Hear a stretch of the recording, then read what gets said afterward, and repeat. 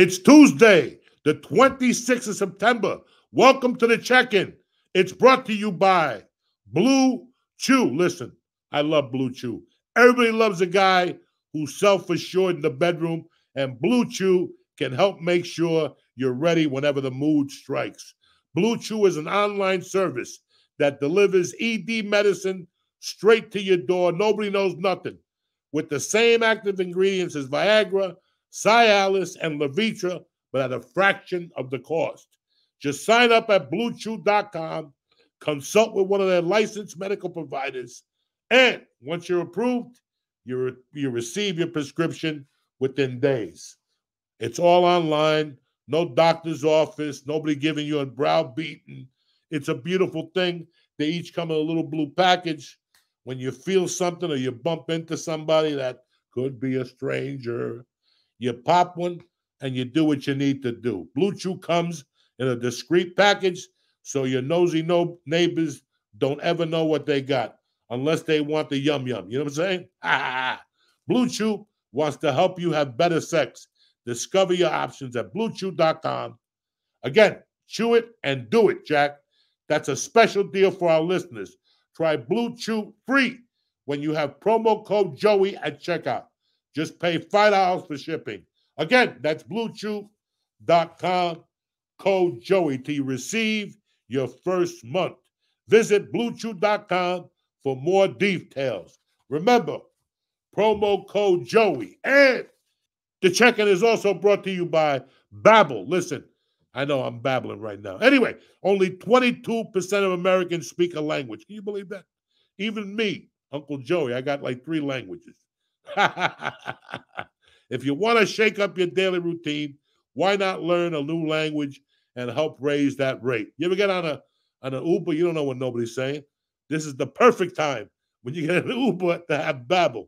Instead of paying hundreds of dollars for a private tutor or using other language apps, to a little more than games, Babbel is an effective way to give your Uber driver a tremendous ear beat. Designed by over 150 language experts, using Babbel for just 15 hours, 15 hours has shown to be equivalent to a full semester of college language course. Listen, I played with Babbel a little bit. I like their little Spanish course. Give it a try. You know, Spanish is the number one language people are talking right now. You want to jump on that bandwagon. You always want to be able to get into the baseball game. You know what I'm saying? With over 10 million subscriptions sold, Babbel is a real language learning for real conversations. Here's a special limited deal for our listeners to get you started right now. Get 55% off your Babbel prescriptions, but only for our listeners at babbel.com slash Joey. Again, babbel.com slash Joey. I'm getting you 55% off. Who gives you a deal like that? Nobody. Spell Babbel, B-A-B-B-E-L dot com slash Joey. Rules and restrictions may apply. Welcome to the check-in. Turn off your TVs, run for your lives.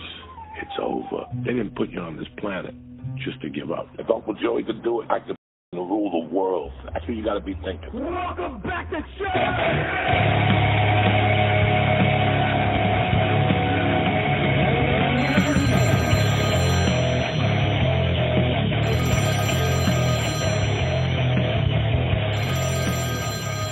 What's the story? Stop wiggling. All right. What? It's well, you can never tell. I'll never stop.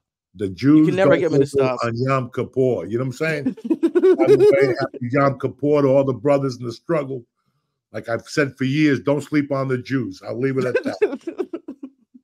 What's But happening? Jews, Jews also aren't supposed to eat edibles on Yom Kippur. You don't That's eat shit. Jews can What do you mean it's a lie?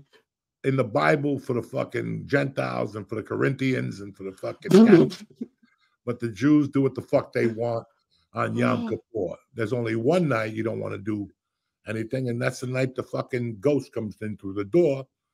Because if you eat mushrooms or edibles, you might fucking see him. Oh no, you mean Elijah? Yeah.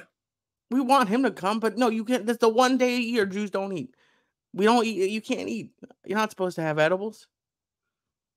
Leave me alone. If you shoot him intravenously, like I'm about to do to you, cocksucker? Can you do that? because I'll go up there with a girl named Nancy with one eye and a needle. You'll be fucking done. You understand me? Done. Kaput. Why does she have one eye? Uh, because she lost it in Vietnam. I don't know. I never asked her. You ever see somebody with a missing eye? You don't ask them. How'd you lose your eye? That's an interesting eye patch you have. no, I how how many how often do you see people with one eye? I don't think I've ever seen someone with one eye. A lot. Oh, I live in. Remember the time we saw one in the guy in San Diego oh yeah. when the pirate and Dean Oh, Del here, Rey still has that tape. I still have it. Hold on.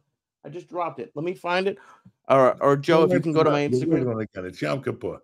All of a I'll find it, I I still have the clip. farted on you. Knock it off. How was your weekend?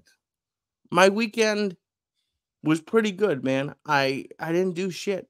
I didn't do shit to be honest. With you. I had a show on Thursday that I didn't do great at, but thank you to everyone who came out. A couple people from the check-in came out. Listen, then you this can't week- be inviting people from the check-in, and then you You told me to. bomb on them and shit. I didn't bomb. told you to. I didn't. And you got to dou- you got to double check that you can't fucking drop a bomb on these motherfuckers. You know what I'm saying? You got to say time out. I got some people here from the check-in. I got to start this all over again. I don't think they'd like that. Yes, they would. Two They'd hours into a show, like I got to start over. Yeah. You can't start over. Yes, you I- can. Who says? I did. It's an art. Who says it's an art? You can do whatever the fuck you want. You get on stage, you're having a rough time for two minutes, call a timeout. Listen, I got to go get my head together. I'll be right back. Sorry about that. I didn't know what I was we- thinking. I don't know if I, if I ever told this story. Do you remember the time that you convinced me that Chappelle was gonna oh, go before me? Like the first time I did the belly room with Yeah. Eric. Oh, we fucking you were it was sweating the bullets all goddamn day. well, you did because you didn't tell me. You told me you- get to get to the comedy store. Eric Rocha, who was on the church a bunch, a very funny comic. We went and we didn't even feel comfortable going. There's a, a comics only bar at the store, and I felt like an asshole. Like I didn't want to go. Like I wasn't gonna just walk in there. So we asked somebody, and they got us in. And immediately you were with Agostino, and the first thing you did, you didn't say hi. You threw. You remember you had those edible mints for a minute. You had edible mints. I had some Oh. edible gasoline too. What are we getting at? here? You threw them in my mouth and you said, Hey, you're not hosting anymore. Chappelle's going up. He wants to do half an hour in front of you. And you, everyone in the bar was like, Oh shit. Like everyone. So you let me burn and fucking sweat. I mean, half an hour later, we get up to the fucking belly room and you're like, Ah, he's not here. And I, I, I was so high and so nervous. I forgot Eric's name when I was bringing him up. I had been doing comedy with him for two years. You convinced me that Chappelle wanted to do 30 in front of me. You got to That's part, eh, bro. When you realize that comedy is all mental, you'll do a lot better. You know, you for years I put this fear in my head. I had a thousand different fears, from they have white hair to they're drinking too much. You know, to half of them are Jewish, half of them are Spanish. You know, it's half of them I grew up with. I can't do this material in front of them. And then one day I said, "Fuck them all." So, but let's talk about Thursday night and why you thought you didn't do well, because that's another part of the show that I want to talk to you about. When you have a spot during the week and Mhm. it doesn't go your way, let's review it. I don't need to watch the fucking tape. Okay. By the sound of your voice and your honesty, I know where you're taking this. You know, we can't always kill every night. Right, Right. now, you're a five year comic, you're working on percentages. You know, I I don't kill. People say I'm I'm. I, I always remember you were very. And I don't want to say hard on yourself. You, I use the word realistic when I'm talking about it because you've had nights that I saw you that I thought you killed, and you're like, eh, and it. I haven't been doing like I'm not killing every night, but I went on a run there of having pretty good like sets I was happy with bees like at least. And then on Thursday night, I just I can blame some things about the show, like uh, where I what how where I went up, but the the comedy club's great. I just I didn't feel like I was in the moment, and I just felt like I was. I've been trying to do different orders, and you know what we. You ever go to a comedy movie in the theater, and it, f- you laugh the whole time, and then you go and you try to watch it at home, and it sucks. two years later, uh, even whenever. It just sucks. The audience plays a big part, and for me, when I start off not great, it tends like I can sometimes dig myself out of it. But if like the audience isn't into it, I just feel like I'm not really present or flowing. I've been there.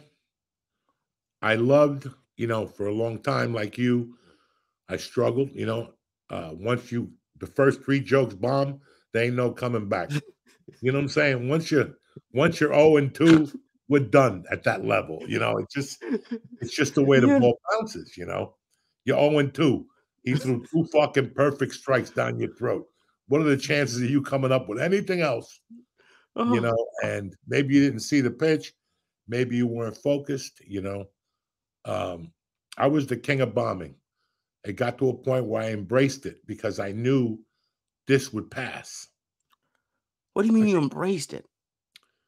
Listen, man, when you're shit, you're shit. I'm not going to become something overnight after one set that I'm not.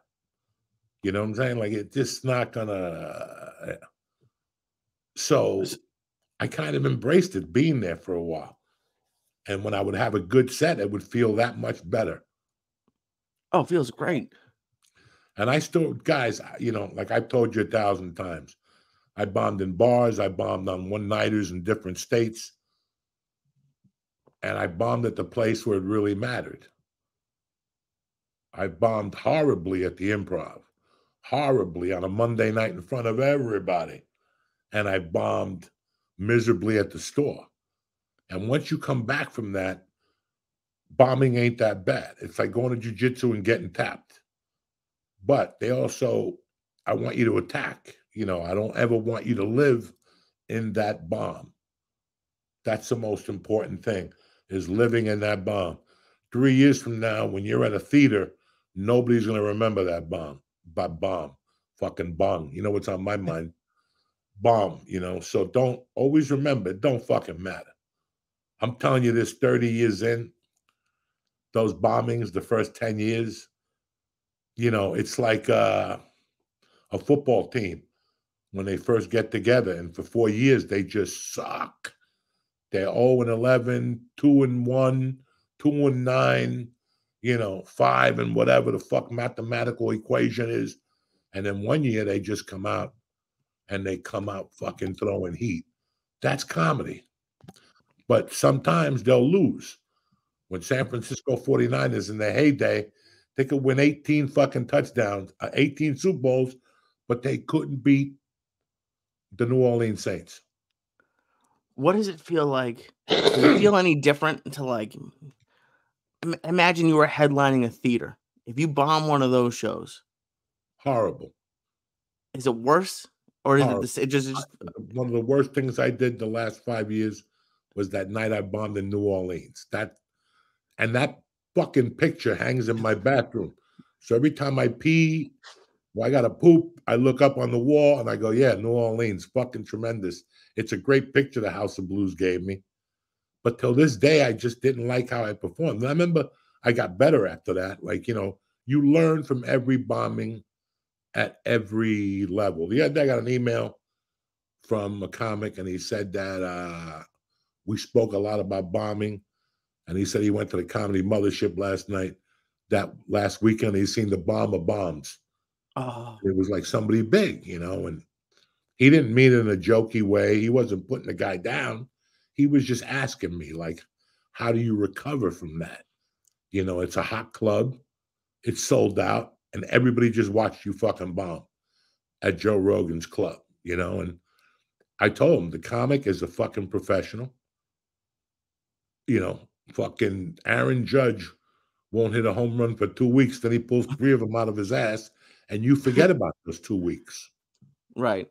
That's I don't know if you can relate to this.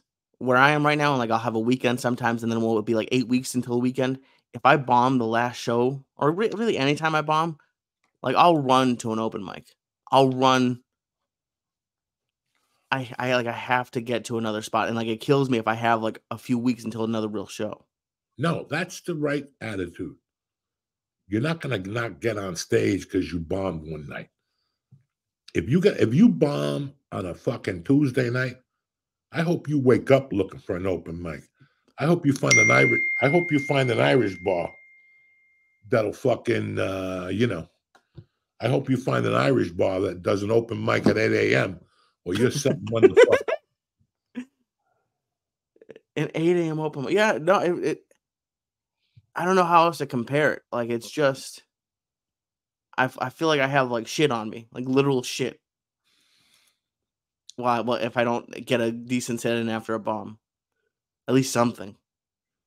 Yeah, I have to, you know, even early on, I would go home and depending on what level or what year I was in, you know, there were some nights that I I cried after a bombing. You know, there were some nights that I went home and wrote the set out. There were some nights, I'm not gonna lie to you, I went home and blamed it on the audience. Like that's what a chump comic does. A chump comic, well, the he had a fucking Mickey Mouse sound system. Well, after the first minute, you fucking drop the mic and yell over him. You know, I'm deaf. Nothing sucks than going to a show and I can't hear the comic or something else. So, Right. you know, if it, if the if you know the whole room has that problem, drop the mic and get on a fucking table. I, I don't give a fuck what it takes. But It you have to look at it that way. You know, if you bomb on a Tuesday night and you're not at an 11:30 matinee of the Expendables for fucking doing 10 minutes in front of those jamokes, you got a problem. That's where the problem lies. You're not going to be a good comic because you're scared of getting back on the horse. That's it. You just go back there that day and you're going to bomb again at that movie theater. And Well, that's yeah, going if to your you problem- feel better because you had the balls to go down there and bomb. Do you think they'd Oh, I arrest never you? told you this. I never told nobody this. What? I did comedy for about a year, you know, and I thought I was Joey Bananas. You know, I didn't know what it took to be a comic. I thought you got on stage four or five times and people light your cigarettes and whatnot. And there was like a, you know, when I started comedy the first three years, there were still a lot of national contests, Lee. Oh and they yeah. were very good. Uh, Johnnie Walker Black had one. HBO had one in Las Vegas that you got invited to by sending a tape. And then you did the top five comics did spots in front of fucking agencies. Uh, you know, I actually won the Bex Broker Joker fucking uh, competition in Boulder in 91 Congratulations. there were a lot of fucking uh con- contest. And I'll never forget that there was one like on a Thursday morning at Comedy Works in Denver. I had been on stage maybe seven times, you know, and I already, you know, I was already on the phone with fucking Seinfeld, you know, what do you think? and uh, I go down to this thing bright and early. I stand online. There's about 30 comics. I know like maybe four of them, five of them at that time. That's how much of an open micer I was. I didn't say a word, but I'll never forget that I saw a bunch of guys with NBC shirts and HBO shirts and Zanies Comedy Club and you know like big comedy clubs in New York. I forget. It was a it was 30 fucking years ago. and I remember how I got intimidated. How I got intimidated. And I went down, I signed my name, I sat there, I watched like the first 10 comics. I was like number 82, mm-hmm. you know. And I think you only had three minutes. Right, of course. And I'll never forget at one point I just walked out of there Really? I ran to the bus and I was so ashamed of myself. I never said that story before. I just thought about it about a month ago, how ashamed I was of myself.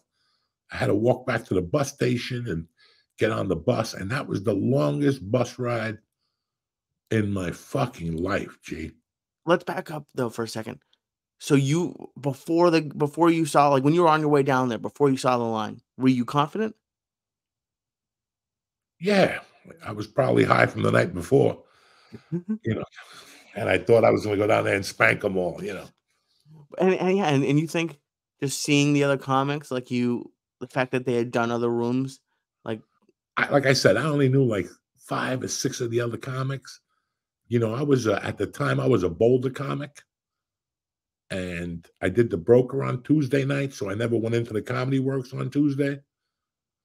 So I only did one nighters when Jimmy Abeda would call me or somebody. I'd go to fucking South Denver, some uh, taco place or something like that. So I didn't really know a lot of people. So nobody ever nobody ever said a word to me about it, guy. But I always remembered, and I remembered how shitty I felt. Not that I was going to win, that I left. Yeah.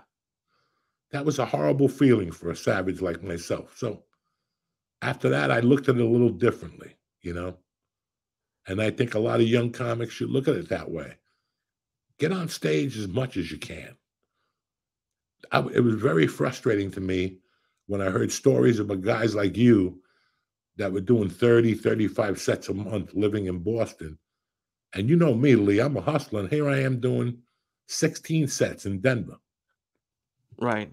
That's to the max, you know? So you I mean you always had a good work. I'm surprised. Was that the only time you bailed on a set? Yeah, probably. That wasn't a set though. That was a contest. Big okay. Difference. What's the difference? I don't know. You're doing a set in front of a bunch of people. Right. That are looking at you from a subjective type of manner. Okay. And that's a weird thing for a comic. Either a comic could do that or they can't do that. I ended up doing well in the Seattle competition in 95, but I, I did better than what I anticipated. And then I went to San Francisco in 98 and I quit after the third night. That was brutal. What was brutal about it? Everything came out of your pocket the yeah. gas, the driving, the hotels. And then you got there some night and the judges were San Francisco comics. You know, uh, no. You know, it was just a party and they were just milking you. And uh, Celia Cruz was playing at the House of Blues on a Saturday night, and I had a main room spot because I oh, thought okay. I wouldn't do well. I thought I'd get disqualified or something, and I was right. I didn't want to be there, and I just drove back to LA. I caught Celia Cruz, and I caught my midnight spot at the motherfucking main room. Oh shit! Yeah, I fucking I don't like I don't like contests. I've done yeah. two. I never do well. What we I don't want to talk about. We don't have to talk about comedy the whole time. I uh no, no, I'm happy you brought this up with the bombing, but we were talking about something earlier that because we're both fans of cinema. Oh yeah. Uh-huh. I think our real big connection is cinema. I remember going to your house one day and seeing all your CDs and all your movies. I mean, half of them were shitty movies. No, they uh, not some of them were terrible, terrible movies, but fucking uh, you know. Uh, I love it. I, I went over there and I noticed that you were a movie buff and you'd go to the movies a lot. And one of our similarities is we really enjoy going to the movies alone. I got no beef with that. Oh, I love. I like I gotta talk to people. The least people bother me that they're cold, they're thirsty, their fucking knees hurt. You know, all that shit. Like it just. And now, for the first time in my life, I've actually achieved the goal of turning my fucking phone off. You turn your phone all the way off. When I lived in LA, I always had it on. Right. And 20 minutes into the movie, some fuck calls you from an agency. You get up to call them. There goes 10 minutes of the movie. And then you sit down and you can't stop thinking about what they called you about. Right. But we were talking about the fucking Stallone movie, how it made Ugats this week. It made $2 because it was a hundred million dollars to make or something like that. So if you make a if you got a hundred million dollar movie, I'm just throwing a number out there, and it makes eight million dollars opening weekend. That's not bueno. That's and a bomb. Movie, I guess this weekend it was the worst box office in ever for how and, long. And you, and you said something interesting because you were right. All up and down the East Coast, it was raining this weekend was the perfect like it's like everyone else all like everyone else who like goes out and hikes and they love doing outdoor this weekend was like i would have killed it i would have we killed discussed it. going to the movies you and i discussed on yeah friday and i go i don't know what's out there and you said the equalizer i said i caught it the first night right because moving back here, I have three theaters close to me, 15 Okay. minutes. And tickets, uh, they always have two sets of shows going on at one, two on the other. So I always got an option, you know? And I'm just trying to take it back to see what. And I've been to the theaters. I've had a great time because all the movies I've gone to see are basically fucking empty. Even though they're blockbusters, they've been fucking empty when I go there. Yeah. And I know that when I take my daughter, it's a fifty dollar fucking show for uh the popcorn. We're part of like the AMC fucking network. We get coupons and discounts. I mean, Yeah, the they have different lines to sign. They have eight different groups you could sign up for now. I I loved AMC. I worked at AMC for it was my favorite job. I got free movie tickets, and they. Let me ask you, why did you decide not to go? this weekend hmm because there was nothing out there. Even if I didn't want to watch the Expendables. I've never watched an Expendable movie in my life. Not even close. I love every type of genre movie, but that didn't look appealing to me. I couldn't go for. Listen, I've seen one of the greatest combo movies of all time, The Dirty? Dozen, The Magnificent Seven, the original one, not the one with what's her name's fucking half a fag husband, who's also on the Avengers and shit. I don't like none of that stuff. Chris Pratt, Yeah, Chris Pratt. I don't believe he's a fucking superhero. So the, but tho- so that you, those were good, but you didn't. What was it? Was it the age in the Expendables? Why don't you buy the Expendables? I, just- I don't know. And I look like an expendable type of guy. like if you see me, you're like, oh, that motherfucking moron's gonna be down there with popcorn and a hot dog and his shirt off with a tattoo on his chest, you know. Yeah. Because I know the expendable people, the guys that go have to be like jet fans that don't get tickets. Like they, thought- they go, fuck it, let's go see the expendables. And instead of wearing a green shirt, they wear like no shirt with a tattoo and they yell every time Stallone's beating people up. I can't deal with that. Not right now, dog. that There's a lot to of me. things I can't deal with right now anymore. There's Oh yeah, like what else? Anything else?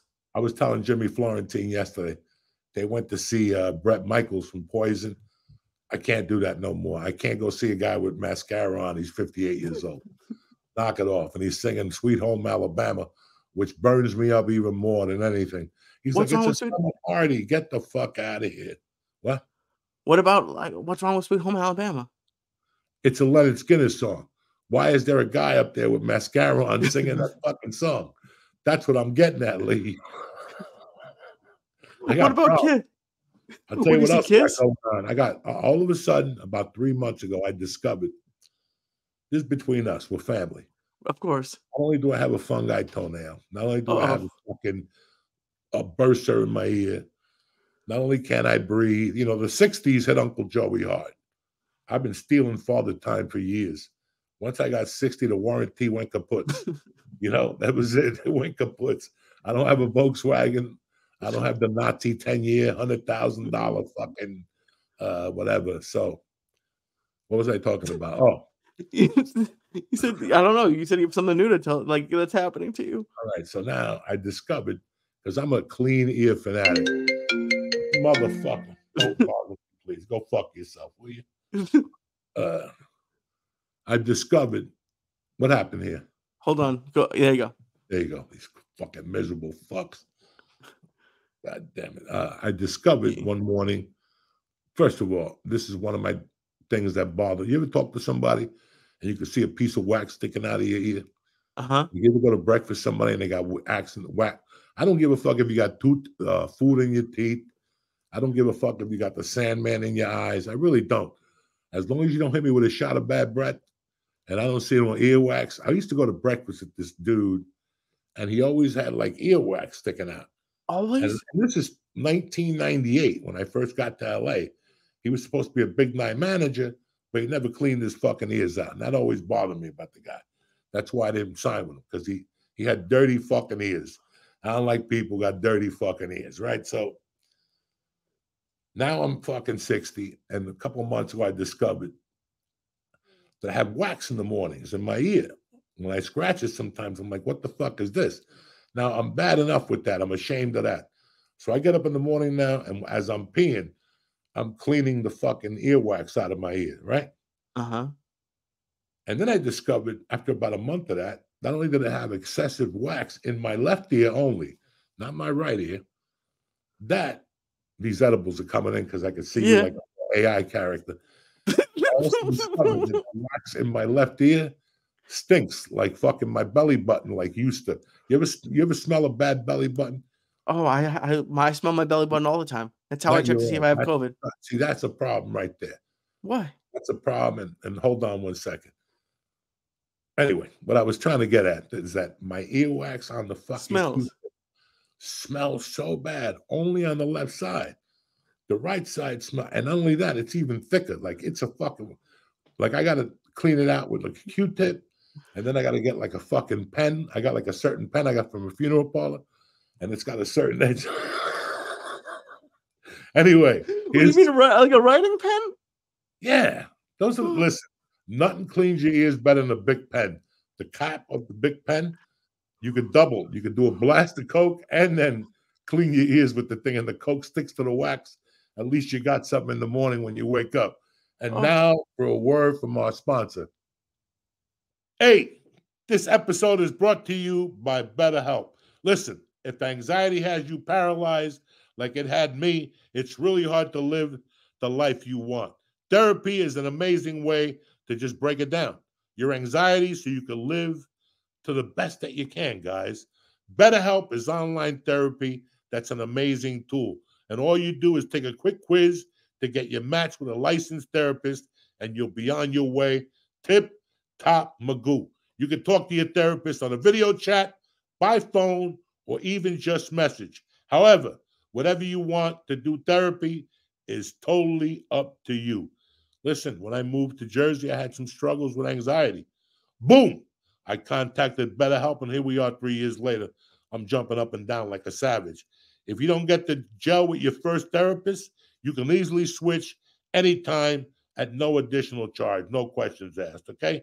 Get a break from your thoughts with BetterHelp. B E T T E R H E L P. Visit betterhelp.com slash Diaz today, D I A Z, to get 10% off on your first month. That's betterhelp.com slash Diaz. Did Anyway, you ever? I never talked to you about my earwax issues. I don't feel I don't shouldn't put them on Front Street, but fuck it. You know, maybe somebody's uncle has stinky ears. I don't know. Give me some advice. Email. You, you know, they have a pen, like a thing, a cleaner with a camera in it that you can attach, attach to your phone and you can like see inside your ear and clean the wax out so you don't have to like do it with a big pen. Let's pretend I eat a mushroom and I forget about it. And all of a sudden I get a sudden whack uh, each of my ear and I stick that pen in there. Yeah, you don't want to be around. Let me tell you something. Those mushrooms are starting to become dangerous, by the way. Oh, They yeah. finally backfired this weekend. I had a rough Oh. fucking Sunday, but it was a good Sunday. I uh, got up, did what I had to do around the house with the family. And at one o'clock, I got to Jimmy Florentine's, part of the Florentine crime family. I got to his house a little earlier to get a good seat. And I don't know, somewhere along the line, I ate like six pieces of a tremendous bar. I hate when that six happens. Just- yeah. and it, it got a little something on the wing. But then ABX, the makers of the Tom Segura killers, uh, in fact, you could put this picture up that I sent you, the bag, the maker of the Tom Segura set. Okay. They sent like a, they gave me like a little bag of like uh these organic mushrooms, you know. Well, let's start from Saturday. Saturday, I had taffies, mushroom taffies, and I, I can't see without my glasses, right? So I look at the bag and I see 2,000 milligrams. Okay, so each piece of taffy is 2,000 milligrams. So I take a half a bite out of it. I wait an hour, nothing's happening. I'm watching Colorado getting beat up by Oregon State. if you had Colorado in the 30, you're still a loser. You know what I'm saying? Colorado had the worst weekend of their fucking life.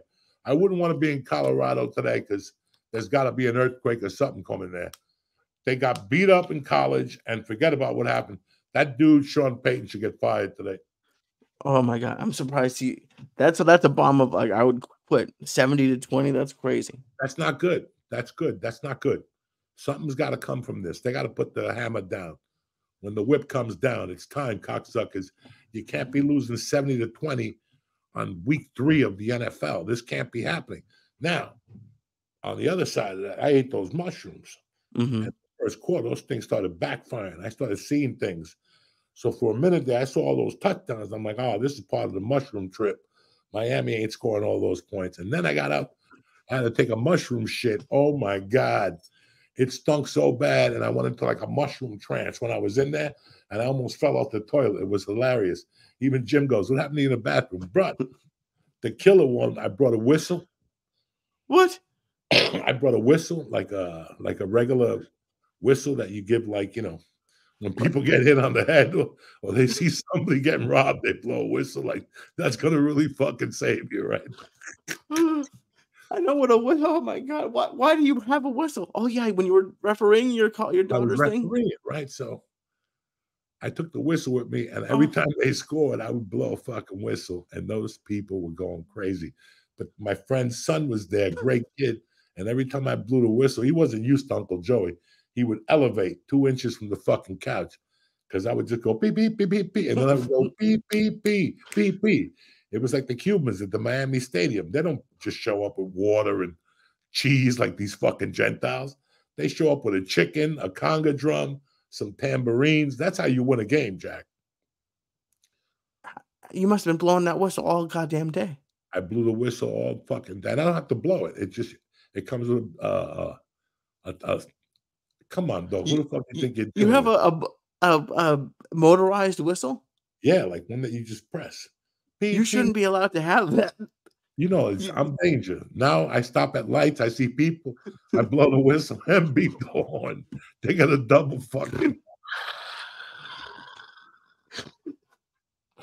Uh, You know, you know how they have those apps where like it's like called like neighborhood and people in your neighborhood can write shit. I guarantee someone's like someone's blowing a whistle in New Jersey. You're blowing whistles at people. oh, you what? Oh, you're blowing. What do you mean? What? You're blowing whistles at people now? If I see people like waiting for the bus, I hit them with a whistle and a beep. I hit them with a double. They don't see the whistle. They don't think it's me because my hand's out the window hitting the buzzer. Oh, the window like it's a beautiful day to be alive. They're at the bus over here, over there. I bang them with a whistle. They pop up. Then I hit them with a horn. I keep going. They don't know nothing. I saw a guy with a flat today in the rain. I hit him with a double whistle. Uh, oh, that poor guy's. Uh, I'm just trying to have a fun time. I'm an old man. I ain't got time for and you funny. don't tell anybody. You don't. You don't. I think you would do this whether or not you were a comic. Like you would just. I think that's part of who you are. It's just torturing. You love it. Like that guy. I bet you're gonna giggle tonight as you're going to bed thinking about the guy with the changing the tire. Oh my God, that was tremendous. Because he was Monday morning, he was having a bad day as it was. He didn't need somebody beeping the horn at him, giving him a disco whistle.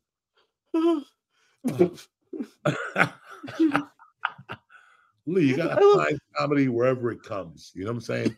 Sometimes comedy is right fucking in front of you. It's so silly how in front of you it is sometimes. Oh, But hey, let's talk All about DraftKings and what they got to offer you this week. And I had a good week Absolutely. at DraftKings. How'd you do? two out of three. I did well. I picked uh San Diego and then over Minnesota. And I, I um I had the Patriots and the under, I think. But those I lost. We lost the over with Baltimore and Indy. It went under 44, which is crazy. Saturday, I took a beating, a lead type beating, not a beating, because you know me, I bet it light. I don't believe the hype. I took Colorado? fifty percent boost from DraftKings on college football, and then Sunday, I opened up with Miami, small because the line dropped from six and a half to six. I also went with my team, Detroit Lions. They always cover. They're like a thief in the night. They always deliver the goods. But they lost, right? Didn't they lose? They won. They won. Oh, they We- won? Okay. You know, Joy Bananas. I had Cincinnati giving Pittsburgh a run and a half on the Lord's Day after they dropped two. You got to go with them, and they came through like a fat cat. And there was something else, and that oh, I took a beating with this one. Not a beating again, twenty five bucks. The Jets plus the fucking three and a half. I thought New England would beat them by three and I'd win with the hook, but not this week. The Jets are just that fucking bad. And now for a word from DraftKings, Jack. Hey, we're back here with another week of football, and DraftKings has us covered for great offers every game. Again, new customers bet the small $5 and get 200 instantly in bonus bets for a price of a cup of coffee. That's right. You'll walk away with an instant winner. All customers can take advantage of two new offers every single game this September. Football's more fun when you're in on the action. Stop sitting on the sideline. Download the app now and sign up with code Joey, J O E Y. New customers, again, $5 to get you 200 in bonus bets. And then all you do is wait for profit boost, this, that, only at DraftKings Sportsbook, an official sports betting partner of the NFL with code Joey, J O E Y. With DraftKings, the crown is yours. One problem. Do you have a gambling problem? We can't have that. Call 1 800 Gambler or visit www.1800Gambler.net. If you're in New York, call 8778 Hope New York or text Hope New York 467 369. If you're in Connecticut, help is available for problem gambling. Call 888 789 777 or visit ccpg.org. Please play responsibly. Get your act together. Download the app, use code Joey, and let's get in on the action. It's time to have some fun, especially if you had Colorado last week. I sent that dude that text I sent you with the naked woman with the big tits jumping up and down. What was she saying in Israeli? Shana Tova in Hebrew, she was saying uh, Happy New Year. Who's better than me? I sent it, It to every Jewish American I knew, and everybody got back to me. Thank you. One guy even wrote me what you told me, which was fucking creepy. Which is what? He wrote on there that that was a good distraction to his fasting. Oh yeah, because you don't eat. t- You're not supposed to eat today. So what time? Sunday. It's sundown. I think I'm almost positive the night before till sun up, or uh, it's, yes, it's sundown to sundown. I think. So they're eating right now. Oh, oh yeah. Right Right now, now they're throwing down like fucking savages. you've never seen so much lox. I used to go to an. There was a family that we were friends with that was Italian, but the one of them converted to marry a Jewish lady. Very, very nice. More food than I've seen in my entire life. You get It was- Jews that haven't eaten for a whole day. Oh, Shit, dude, what- they no package. They ain't leaving nothing but silverware. If have that, you had have you had challah before? Must have. what the bread? hmm Yeah, not bad. I mean, I wouldn't put a meatball on it, but People, it's like Black Friday at the end of the services. They're very they're polite, but it's they're moving fast because at the end of the last one, when you can eat, they have challah and like grape juice for kids or wine for adults with apples and honey. I look, I don't eat. That's the only time of the year I eat apples. I don't eat apples. that's your problem. I know. You got to eat more apples. I've been dropping apples in the morning and at night. Tip top magoo. Everything comes out nice and smooth in the morning. Mm. Only thing is, I can't do a bong hit and shit at the same time. I had that superb bathroom in California where I just opened up the back door, sat down, blew a bong hit, and that missile would come out of the launch like a fucking boop. Nothing. I You can't you can't cut a window into your bathroom. No. What am I going to cut a No. fucking special window and then fucking uh, a raccoon moves in?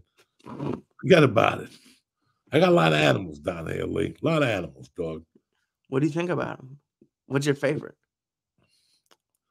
You know, when I when I pet the raccoons, it's great. When I feed them, are you fucking retarded? I don't know. They're all my favorite. You don't like looking at them? You don't? I don't know. Fucking maybe, maybe like I don't know. I, I think deer are cool to look at. Sometimes when you see a wolf. I, I grew up around like like wolves and shit. Like what is nah, coyotes? I see a Like fox from time to time. There's a fox that lives by the little league field up the corner there. I swear to God, I used to walk there and I got attacked by a deer there one time. So I stopped walking up there. And then I realized why, because it was a mom and a little fucking cub, whatever, whatever they call them. I'm, I'm not a hunter, so. Because it was a baby deer and a big deer. The I think it's a fawn, isn't it? Right, yeah, fawn, and that motherfucker was coming at me. And then I've seen a fox up there because one day I decided to walk up there through the back instead of drive. Fuck Mhm. that! I'll never do that again. That's when I saw the fox. I was like, I'm a dead man. But I see a lot of eh, deer, a lot of beautiful looking deer. Believe it or not, there was two turkeys on my corner the other day. If I would have had a bow and arrow, everybody would have had Thanksgiving on my block. You know what I'm saying? But Dude, there's they turkeys that come around like once a month. those are scary. Like those, I didn't know deer attacked, but like I've been like they're on the news here. Like there's like this this year, like an old lady got attacked by a turkey. Like those things are are vicious. Dog, the best was about three weeks ago on Route 9. Somebody, a truck, like a, a ton of potato chips fell off there. Like, Oh, I mean. I saw them on the thing. Like, it must have happened 10 minutes before I got there. It's not a bit, it's the nine, but to the side, it was one of those side streets Uh-huh. the guy made the left turn and he dropped the. I went by there the next day. It was all raccoons, not raccoons, I'm sorry, squirrels eating them oh shit. They had the fucking uh those pork loins. You know, they were that's what they were eating. They were eating They were eating fuck- pork rinds? Oh shit. fuck- yeah, pork grinds, the low sugar, whatever the fuck they are. those red ones from Wawa. I'm thinking about Wawa tonight and shit. I haven't eaten dinner yet. oh, what's gonna be your order? My order at Wawa. Yeah. Short, short sub, Okay. little one, tuna, American cheese, red wine vinegar, oil, extra no, salt and pepper, lettuce, tomato, onions, hot peppers. I'm surprised you go with. I know I've you told me this, but I'm tuna out is like scary. Like that's Tuna at you like Subway it. is scary because you're eating some dolphin. You got a little meow meow soup in there. You got some eyeballs in there. But this is Jersey. You serve a back, back tuna, it's not going to work out for you. Wawa. I mean, Right. I told Ari the other day when Ari first came to my house, he ran in here like a fucking child with 10 bags. And I go, What's going on with you? He goes, You have a Wawa. And I'm like, What the fuck are you talking about? He goes, I love Wawa. The sandwiches are great. I'm like, This guy's fucking retarded. I actually had to eat my words and call him a week ago and go, You were right. I love Wawa so much. I downloaded the motherfucking app. Do you put your order in before you get there? Yep. I would never have guessed you would do that. Do you make your wife do it or do you do it? We both do it. That's We awesome. it. How often do you go to Wawa? Once a week, like at night, once a week for like a dinner. Like we get caught up here with fucking a softball game or some activity. I got no beef with going to Wawa and getting a turkey sandwich. If you're not in the mood to eat, they got smoothies. I have, I'm going to tell you one thing. The person who turned me on to Wawa was somebody I grew up with. We went to the beach uh, two summers ago, and I said something that I was hungry. I was going to walk, and she goes, "No." I stopped at Wawa and got sandwiches. Now I grew up with this girl. You know, she ain't gonna walk in the subway or nothing. She's from the same mindset. She's my age. She goes, try this uh, Wawa tuna sandwich with hot peppers and sweet peppers. I almost died, Lee. How good it was. I was in shock. I really, really was. So if I'm in a pinch, I, look, I'm not gonna eat the pizza from Wawa when you have what we have over here. That's a waste of fucking energy. but I've heard from people that, again, I trust. I like these people that they've gone in there to tell me how good the burritos are in Wawa. And I had another brother of mine tell me he loved the enchiladas, but he lives in Delaware. So I got to give him a pass. Yeah, they don't. I remember like Steve Simeone turned me on to Wawa, and it for a stoner, it's it's heaven. It's just everything that you can do, and that you can do it on the computer, and you don't have to talk. You don't have to talk to anybody. That's like the worst part of going out when you're high sometimes. But it, it kills me when it's sometimes the one one of the ones by your house I don't like. There's like there's a there's bad ones, and I think I think they're higher. Like it's always bad. But I there's go to the ones that don't have a gas on them. smart. Okay, so I get a little bit higher level. Where this one is, it's a little higher level. To be honest with you, store is fucking spotless. You know, uh, I don't get anything. I've heard through the grapevine. Now I've had there in a pinch. I had a smoothie one day, and it was fucking delicious. Okay, Oh, yeah. I didn't get the whipped cream or nothing. You know, I'm trying to keep my fucking bella figura. But I had the my neighbors and their Jersey, Staten Island people. They say they have tremendous milkshakes. Tremendous. I- they love the milkshakes. The kids love them. The parents love them. See, and I don't think you have the same rule. I'm I, I love a milkshake, but I don't like doing it during the meal. So I never get them out because I don't I don't want it to melt. I can't I, I have to do it in order. I don't know what it is. Like as fat as I am, and as many times as I went to McDonald's, I never eat fries on the way home. Ne- there, there's rule like I can't You're a chubby guy with rules. I can't do I it. see that. But like me, this is why after this fucking podcast, you're gonna call better help and get some help. Because you need help, cocksucker. You don't Yes, need I do. fries. When fucking McDonald's, you eat everything you get as quick as you can before you die. and you the fuck walk away with fries or I don't drink a milkshake because I don't know what you're talking about. it's gonna melt. What what's gonna fucking melt? You have to you eat it like a gentleman. You eat your burger and your fries at home, and then that's why I can't get dessert. It pisses me. I can't do it. I can't have the milkshake before the burger. I, I don't know why. First off, first, let's let's get to the bottom of this shit. And now I got to teach fat man etiquette. Okay, first off, in your kiss case, because you're addicted to that diet coke shit, which is worse than smoking crack every night. Well, If you got a cheeseburger, if you got a let's say a quarter pounder right. with cheese and a fucking order of fries, right? Absolutely. You're gonna drop a motherfucking uh, a Coke Zero in there with extra ice, whatever. Of course. You Well, might drop I go light ice, but lives, okay? But like for the regular consumer that lives in Iowa, yeah, he's gonna get one of those Staminka shakes and whatever. Like me, I like my shake for dessert. Like when I was throwing shakes into the equation, I would go to a diner. Like I just started going back to a diner, and I'm very happy. I'm going back to my roots. my favorite one is a diner called the Manalapan Diner. They have stolen my heart. The woman who's one of the owners is from North Bergen originally. She started a diner on Sixth Street in North Bergen, you know, which I I know the diner. I can't remember the name of it right now.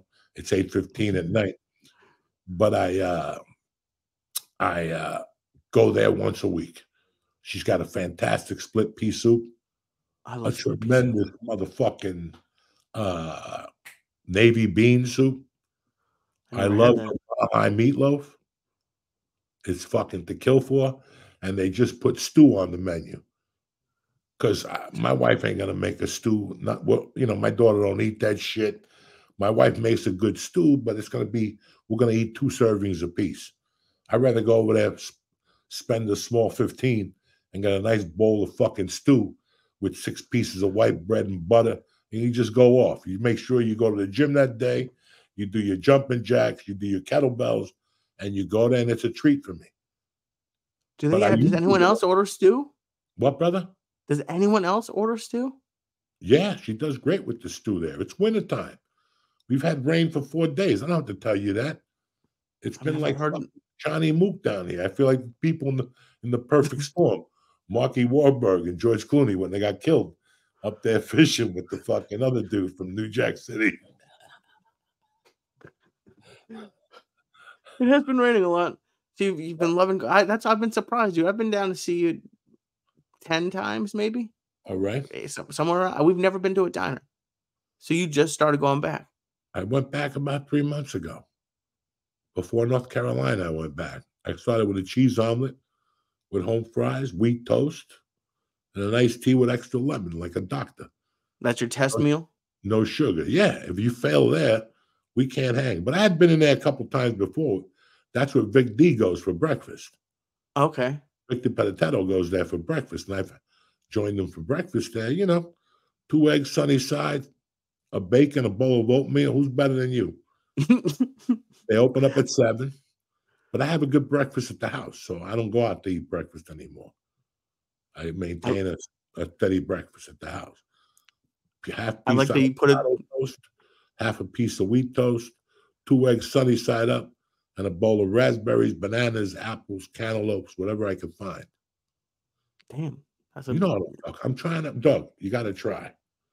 You that's like a, a breakfast one of the commercials. That's like a, a real and fucking I'm breakfast. I'm gonna finish up here with you tonight. Okay.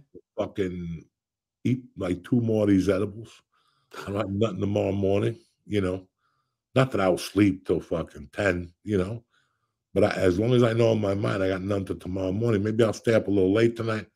Watch something a little later. We got two games on Monday Night Football. Philadelphia, Tampa Bay, seven fifteen. I think eight fifteen. You got the Rams at Cincinnati. You know what, man? Oh, the last time I checked, Yom Huh? Kippur, and they don't give a fuck. They got two games going on, and that's No. good because right now Jewish people could sit there, eat fucking challah bread, jump up and down, stew, pastrami. They could eat anything they want tonight, though, right? no, they can't. Eat, I don't know if you can eat well, stew. You probably had kosher beef. You could, but like, yeah, you, but you could eat. It's usually All right, breakfast. brisket tonight Oh, I love brisket. with rye bread, a little fucking mayo, salt, pepper. You really are Jewish. I can't do the rye bread. Come on now, not like fucking regular staminka bread. There's rye bread, and then there's fucking rye bread that those people make at their own delis. Like yeah, that's good. Langer's. know, nobody would ever understand if I when I say to them, "Go eat pastrami at Langer's," they'll look at me and go, "Why would I leave New York to eat pastrami at Langer's, Joey?" Let me tell you something. The piece of bread you're going to eat the pastrami on at Langer's, you're never going to eat a piece of bread like that in your life. It's like a a rye Italian bread. I can't explain it to you. You know, I cannot explain it to you. Nobody would go there to eat pastrami, but I would. I saw your boy Tom Hanks there one time getting 10 sandwiches with a bunch of foster kids. I don't even know if they were foster kids or he was taking them to Bolivia on a family trip. Why is he my boy? I don't know. I thought you liked the movie Big. I do like the movie Big. All right, then. Then he's your boy, cocksucker. what do you got planned this week? Where are the open mics at, Lisa? At? This week's the big week, man. This week, Thursday Yeah. through Saturday, I'm in Omaha at the Funny Bone opening for Josh Wolf. That so I fucking primo number one club. The owner there is uh it's not an investor. When you work comedy clubs, you're gonna go to clubs where the owner is an investor. He came from a chain of restaurants and there was a new mall opening and he figured he'd buy a a funny bone or an improv or something like that. Anybody could do that. But like it kills you that you go into these clubs sometimes and this person that's judging you doesn't know anything about comedy. They've been doing comedy for they've been watching comedy for three years. They they bought into comedy. You know, like I remember doing a club where the guy came from a chain of restaurants. Every time I go up to do 30 minutes, he would sit by the stage, stand and just look at me because he was petrified. And I had to pull him aside one night and go, Doug, you, you got to knock it off. You know, you make it, well, I just heard of your behavior on stage. And that's what they came to see. They didn't come to see you stand there on the side like a fucking mummy. I where would he stand?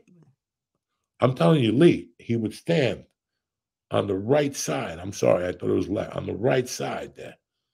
Right in the front? Stage. Yeah, right there with his arms crossed, like a fucking sleeping pill. I can't have that. No. I can't have that. So we had words after the first show Thursday. We had words again Friday and Saturday. It was too busy. You couldn't stand that. It was too busy. I was a feature then. But I remember like he called me back years later. You know, to go, I never step foot in that fucking club again. But my point is that when you do comedy and you're getting beat up at every fucking level, you know, it's nice to work a club every once in a while that the person has been involved in comedy in some way or the other for 30 years. Their whole life has been comedy. You know, they were married, had kids, and now this is their focus of their life. They take care of you, like a great comedy club owner. They welcome you. When you get to your room, there's always something for you there in Nebraska. You know, Colleen is uh it's a four show, five show weekend. You know, it's a great fucking club. And here's the crazy thing. When you're a young comic, like from a guy from Boston, you think of Omaha, Nebraska, and you're like, well, who am I going to talk to there? A piece of beef? What, what am I going to do there? What's going to come to my show? A butcher? Let me tell you something. People laugh harder than anywhere you go. They take the ride with you. They're dirty, and there's nothing, no better feeling than that. Where the comedy club owner only comes there to watch you, to see and and give you confidence. And she's one of those club owners. So I'm so I'm happy that you're going there at this level of your comedy career because it's a breather. You know what, man? an idiot that played the piano in high school and now he wants to tell you not to be say the word Jew on stage, and you're like, knock it the fuck off. Take a hike around the building, will you? you know, I, I'm a, I'm a comedy podcast fan. You know, we did the church for all that time. I love, I listen to all of them, and there's a few clubs that like you, all of you guys talk about. You talk about the store.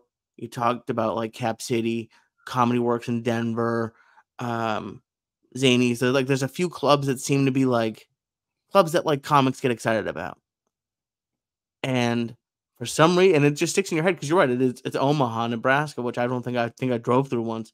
But like everyone talks about how cool it is, and I, I'm just, yeah, I'm just so excited. You know, when as a comic, you get so excited about big moves. You know, like this week, I'm going to go to Vegas. I remember the first time I went to Vegas. I'm not going to tell you the club or the. It was a week long club, and it was one of the bi- biggest disappointments of my life. I can't tell you how sad I was by Thursday, and I still had fucking, you know, eight more shows left or something. All you want to do is go home. You sign up to do comedy, and next thing you know, I'm on an elevator getting hit by swords with little fucking kids. You know, it was. Then I got to do two shows a night. They come up to you before the show and tell you you got to be spotless. I got to wait for the guy to walk out of the room for me to do a fucking pussy joke or a fart joke or. And I was like, this ain't worth it. This isn't Las Vegas to me. I thought I was going to walk out of here like fucking Dean Martin and have a great time. But I also worked there with Dice in the beginning.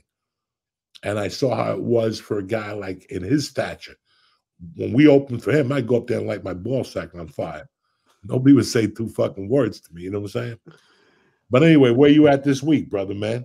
I'm I'm there. I'm in Omaha. A ton of the rest of the week. I'll be at open mics in, in Worcester. People came out to that.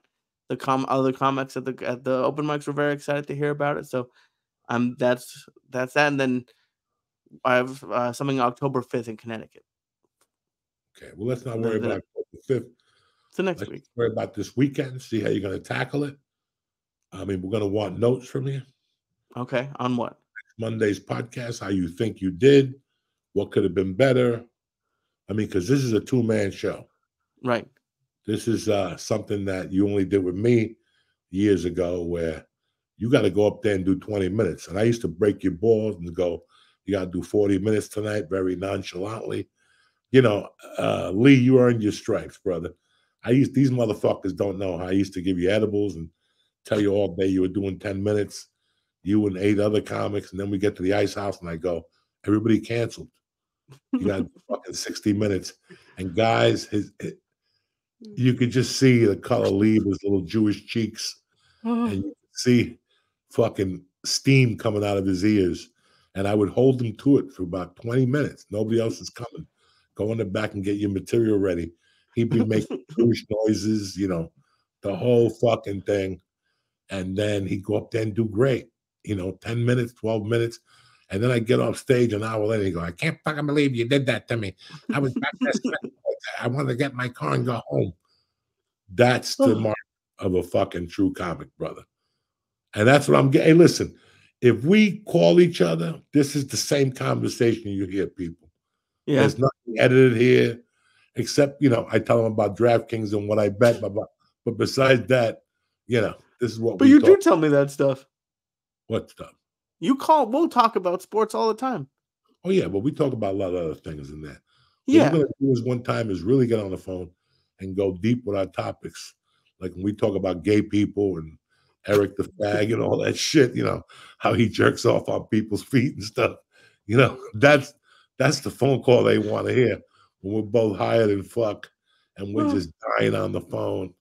You know, before I said to you, he called me up and he goes, I already took the edibles. I go, I don't know. You don't sound retarded. And we started fucking dying of laughter. That's what the checking is all about. What do you think? Absolutely. I love it, man. Where are you, I where are you tomorrow night? tomorrow night is uh I will be in two places. I'll be at the Blackstone in Worcester and I'll be at the at uh Rick's in Woonsocket. You're fucking beautiful, brother. If you go to see any of Lee's shows, please say hello to him and uh, report back to me how he did. You know, my Twitter is at Mad Flavor. Let me know if this motherfucker should have called an bomb alert or uh, no. I have all the confidence in the world. You're gonna do great this week, brother. That's Thank a great place. She makes you feel at home, so it takes the fucking steam off. You know, again, you're half neurotic, but it could be worse. I could be there torturing you. So I'm way more I'm way more than half neurotic, but thank you. my brother. Have a great week. And let's uh, close out the show with some sponsors, guys. Love you. Thank you for checking out the check it, checking out the check in. What am I, a fucking idiot? Stay black, and I'll see you in October. Bye guys.